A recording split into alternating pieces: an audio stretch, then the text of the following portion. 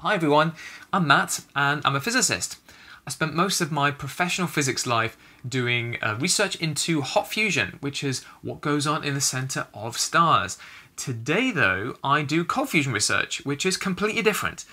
There's a story behind the shift from hot to cold, as you might imagine, uh, just like there's a story behind cold fusion itself, where it came from, why it's important, why you should care about it. But they are longer stories, which we will save for another day.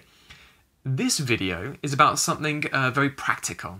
You see, I've been building up to my first cold fusion experiment for quite some time, and it's happening tomorrow, which I'm stupidly excited about. Um, I put a link in the description below where you can find out more information and follow me if you are interested. The practical thing we're going to be talking about is how I prepare my materials to go into my cold fusion reactor. I've been inspired by a Japanese researcher called Mizuno, so I'm following along as close as I can to his procedure.